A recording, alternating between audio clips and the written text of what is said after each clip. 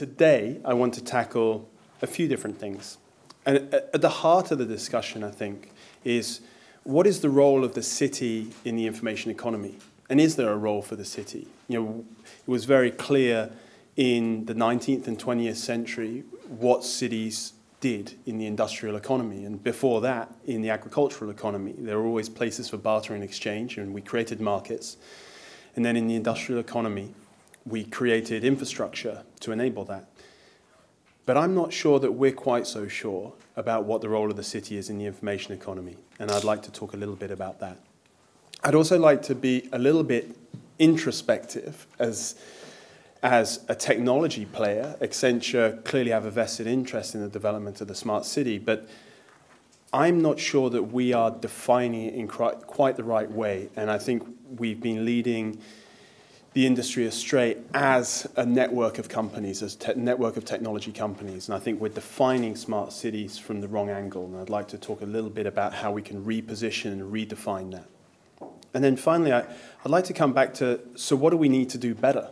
So, you know, if we're not in the right place in relation to smart cities now, what do we need to do to put ourselves in the right place? And for me, a lot of that is about storytelling. So, again, no better place than Dublin to, to talk about storytelling. But I think we lack a narrative. We really don't understand what it is and we can't articulate what the value proposition is. And until we're clear about that, this is never going to go above pilot and into scale. So those are kind of the three topics. I'll try and cover them within 20 or 30 minutes and then leave plenty of time for questions and answers. One benefit of speaking on smart cities is it covers just about every angle that you can imagine, so there shouldn't be any, any, any risk of not having questions. Um, so the, that first question about kind of what is the role of the city, as I say, you know, it was very clear in the 19th and 20th centuries what cities were for. We created marketplaces, we centralized the distribution of raw materials, and then we set up factories and we created new, new, new materials and we created new products and we sold them in marketplaces and we housed all the workers that did that and we created an infrastructure to do that. Infrastructure of sanitation, clean water, and also transportation. You know, and, and part of that was about improving the living standards within the city, but part of it was about enabling the market economy. Now, you know, much of that legacy still exists, and, you know, and many of the institutions that were created still dominate what we call the cities uh, as they are now. But in the information economy, life is slightly more complex because it's a virtual economy. And I think there's a fundamental question, which is what is that role for the city? Or is there a role for the city in enabling an information economy? Or is it just a global network that will happen regardless of the city and above the city? It's my premise that actually there is a role, and what the city can do is act as a convener and a custodian of the information marketplace. And in the same way that cities were responsible for helping to structure marketplaces for agricultural and industrial products. I think there's a role for the city in creating the information economy within the city, both stimulating and managing the governance of it and creating the frameworks and the platforms for delivery and the infrastructure for delivery, but also in acting as the, the regulator and custodian of consumer interests in that process. And we'll come on to that a bit more in the question of governance. So, how do we do that? Well, for me, the way that we've defined smart cities to date is wrong. You know, we've defined smart cities by the inputs. So if you've implemented a smart technology pilot, let's say smart meters, or you could talk about smart transportation, or you could talk about smart water, then cities define themselves as smart by having implemented a technology. And the reason for that is that the discourse on smart cities has been created and dominated by technology vendors and integrators, people like ourselves, IBM, Cisco, GE, Siemens. And we've got very large marketing budgets, and as a consequence, we've dominated the discourse, uh, both in terms of the conference circuit, but also the press and the media. And we've rapidly moved up the hype curve to a point where the kind of utopian ideals of the smart cities are prevalent out there. You know, we're in the Blade Runner world of, you know, information cities. And yet the reality of what can and is being delivered falls a fair way below that utopian standard. And as a consequence, that, that creates a level of distrust within the community that actually the emperor has no clothes. And, and I think that's wrong. I, I think the emperor clearly does have clothes in this context, but I just think we haven't quite got to the right value proposition yet, and we haven't articulated it. So, what do I think we need to do? I think we need to listen more. We need to go out into communities and understand what are the issues and challenges that we need to address. We need to engage in, an, in a much more anthropological study and embrace the urbanists into the discussion in a way that we haven't done in the past. Predominantly, this has been a technology driven debate. And the urbanists have been away doing their things, talking about urban planning and urban sociology. And there hasn't really been that reconciliation between the technology agenda and the social sciences. And I think there is a need to, to more closely integrate urbanism and technology. And that really needs to start in the process of listening and understanding what the challenges are that we're trying to address. This isn't just about de delivering more efficient networks. That's part of it, but it's not all of it. So we need to go out there and say, how do we deconstruct urban life and look at the various different stakeholders? Because life in the city for my grandmother looks very different to life in the city for my son. And it looks very different to life in the city for me. We all have different hierarchies of needs. And when it comes to smart solutions, all of those stakeholders are important stakeholders in the delivery. And yet, we aren't really systematically going through the, each of those profiles and saying, what does a day in your life look like now? And what will a day in your life look like in the future? And how does smart solutions enable that transition? And it's not until you articulate the delta between life now and life in the future that you can really articulate what the value proposition is in terms that people actually care about. Because traditionally, what we've done is started from the premise of there are economic efficiencies to be driven through these technologies, and we create business cases for delivery. And whilst business cases are important, they're not the same as value cases. And if you talk to cities and the public sector, there's a, a, a distinct change in vocabulary between the private sector that talks about business cases and the public sector that talks about outcomes for citizens and for businesses. And we need to bridge that gap. And, and that is about articulating value in much broader terms. And the kind of solutions that we can provide in the smart city space may be about driving efficiency into networks and creating good business cases but it could also be about delivering social and environmental outcomes that are valued by the public sector and paid for by the public sector or paid for by in society through different mechanisms. So, so partly it's about doing the anthropology, understanding what the issues are, and being in a situation where we can define what the outcomes are that we're going to generate.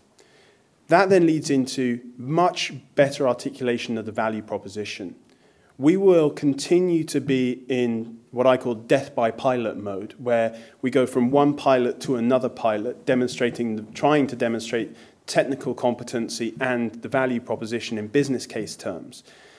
Forevermore, if we continue to do that, or until people run out of funding and interest in doing pilots, what we need to do to get to scale is go up a level and start talking about what is the value proposition in political narrative terms that allows political stakeholders to say, in terms that the general population understand, this is what a smart meter enables you to do.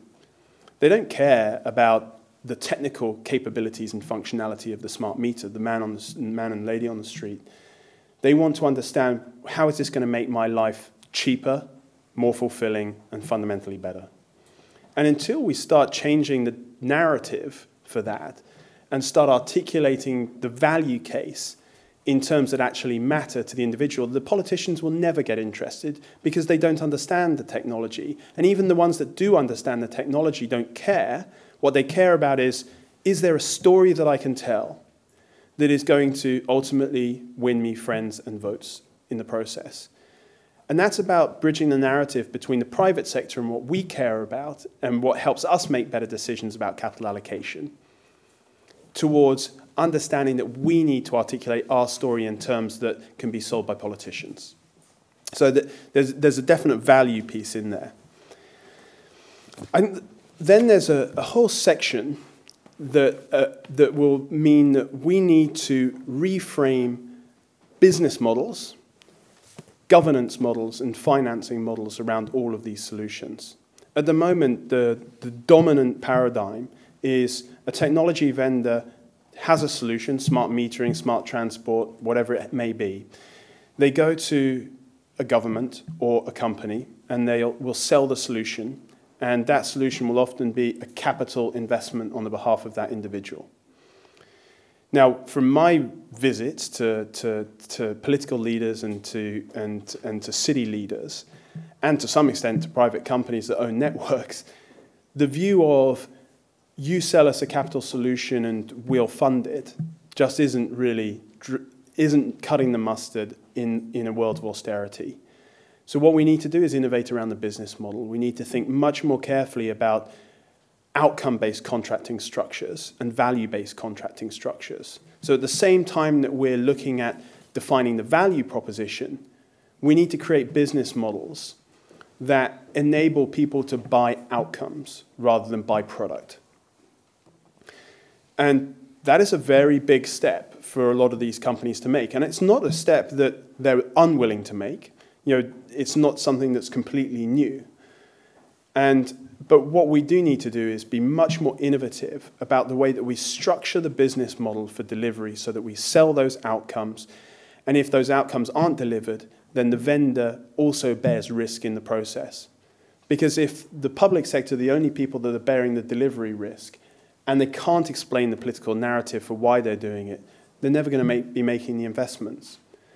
At the same time as that is true, it's not just about business models. Business model innovation will also require financing model innovation because you'll need to forward finance the delivery of the benefits of the outcomes. So, where we think there's an economic rent to be taken for delivering an efficiency of some description or an outcome of some description, the capex has to be funded at the beginning of the cycle and then amortized over the process of the, the outcome or the contract.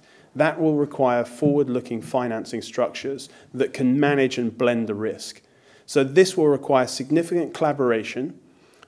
I think what we've come to realize is no one company, whether it's IBM, Accenture, GE, Siemens, can own these deliveries it's going to require an, a, an unparalleled level of collaboration between those companies who will divide up the various different tasks within it and also include financing partners as well.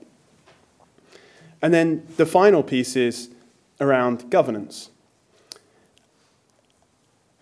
And you know, I would posit that the institutional governance structures that dominate at the moment aren't necessarily fit for purpose going forwards. And that will mean thinking much more creatively about the type of enterprise structures that are put in place around the collaboration. And if that means that there are more public private partnerships in the broadest sense, how does that then translate into actual governance and risk management? And for me, that will mean probably new forms of institutional structure that allow the public sector to develop uh, joint ventures, for want of a better word, with private sector companies that will deliver outcome, infrastructure outcomes for the city on a concession-based structure. But both the private and the public sector will need a seat at the table of the governance of those activities, and we're going to need to work out what those frameworks look like. So there is this, this triad of business model innovation, financing innovation, and governance innovation that has to be dealt with in order, in order for us to make the transition from relatively small scale pilot all the way through to large scale implementation. So, so that's kind of the, the broad remit of kind of how, how can we change. Before I kind of open it up for discussion, I'd like to talk a bit more about the idea of kind of the urban information marketplace. I do think that there's a, a role for the city in stimulating and managing the transition from a purely industrial economy to an information and knowledge economy. And for me, that's about developing a completely new value chain around urban informatics or urban information management. So, at one level, it requires us to look at data provision. Now, historically, over the last few years, a lot of the focus has been on open data. How do cities create open data platforms that provide data that people can then develop applications to use? But actually, if you look at the total spectrum of data that's available on the city, much of the valuable data sits in the hands of private sector companies. So, for example, one great data source would be operational data on the mobile phone network, i.e., um, you can generate things called uh, um, uh, what, population maps, for want of a better word, that look at cell phone propagation within a city, how many people are linked and connected to each cell phone mast. That can give you a proxy for the density of population in real time throughout a city. Now, that has many different applications and really strong commercial applications if you can find a way of recompensing the cell phone companies for delivery of that data. At the moment, there are no real mechanisms by which a cell phone company can provide anonymized cell phone propagation data and can recoup value from it because the information marketplace doesn't really exist. So at the moment, most of the information that goes into an information marketplace is open data and it's free. What we may see in the future is a marketplace that has a combination of proprietary data that has value and therefore would need to be paid for, and open data that also has value but has already been paid for through taxation. So, at one level, it's about broadening access to data within the city and encouraging the private sector to, to participate by enabling them to recoup the investments that they've already created and charge for the use of that data. The second part of the value chain is around analytics. People who can take very large data sets can apply analytic capability to it and derive insight from it. Now, there are big companies like Accenture and IBM and others that do that and have capabilities. But there are also small niche companies that have deep analytical capabilities. And the barriers to entry for those parties to participate are very small in the current technology environment.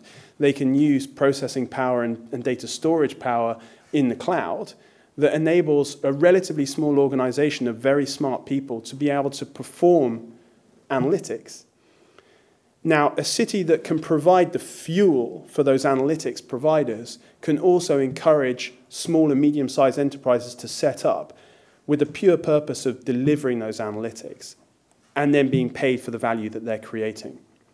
But that requires a third part of the value chain, which is a service delivery platform to enable the transaction.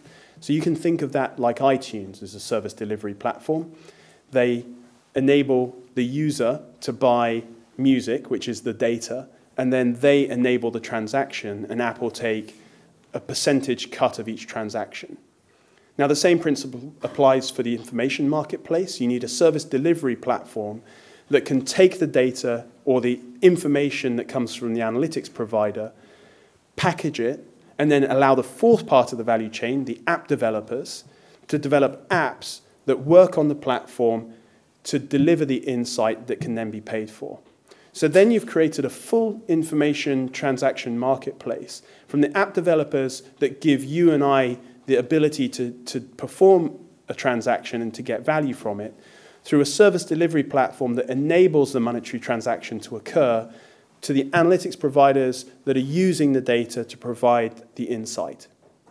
But you need all four parts of the value chain to operate. Now, at one level, that can happen transnationally and tran across many different cities.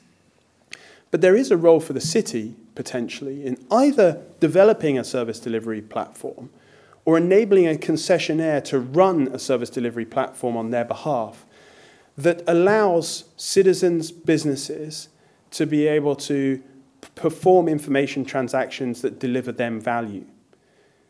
But the key is to create something that is neutral enough that allows for the creation of a functioning information economy where app developers are able to start up and set up and service the needs of citizens and businesses.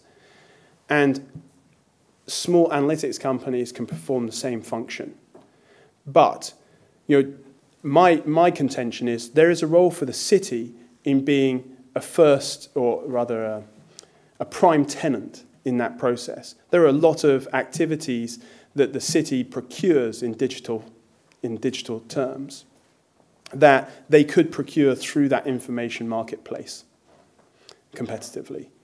And so I would like to see more cities acting in a procurement function to stimulate the development of these information economies, whilst also performing the function of, uh, of the platform provider that enables these things to set up.